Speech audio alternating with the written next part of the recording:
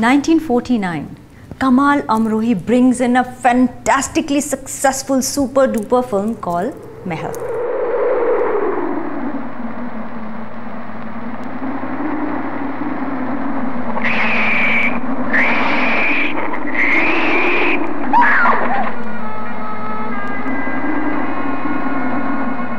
A gothic film, a film that's based on reincarnation and rebirth. Spooky film. You remember, we just dealt with Bimal Roy ji as a director. Here, Bimal Roy has done the editing of the film. मुझे मालूम था तुम आओगे मुझे गौर से देख लो मैं वहम नहीं हकीकत हूँ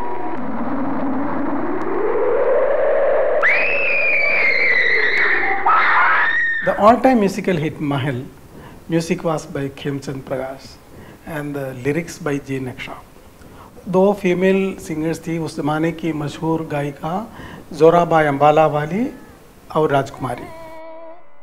बात सुन, ये रात फिर आएगी, ये रात फिर आएगी।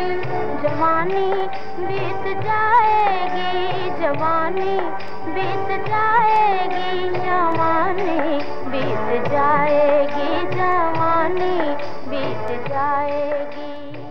Lata Mangeshkar song आएगा आने वाला आएगा।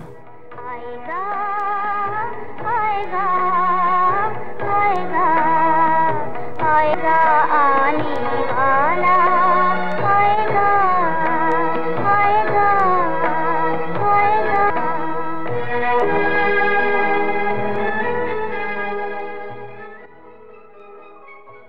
इसमें मेल वॉइस नहीं था। ग्रामफोन रिकॉर्ड में गाने वाले का नाम लता के बदले में दिया था कामिनी। कैरेक्टर का नाम है Kamini. And Lata fought against this practice and soon after that the name of the playback singers also got embossed on the gramophone record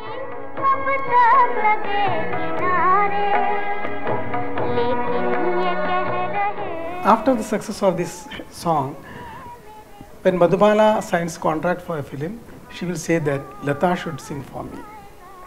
And Lata herself has given this statement in an interview that is even now broadcast by All India Radio during uh, through Vidya Bharati channel. We can see the rapport between professionals developing here. The singer supports the actress and so does the actress in return. We have Lata ji being recommended by Madhubala ji for all the films that is to come in the future.